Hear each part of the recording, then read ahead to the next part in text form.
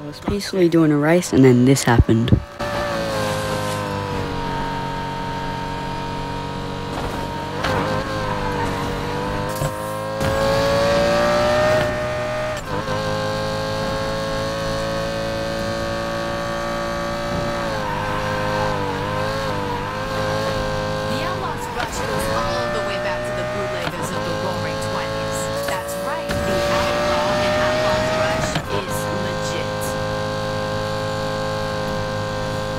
Was coming up on this corner and then this happened.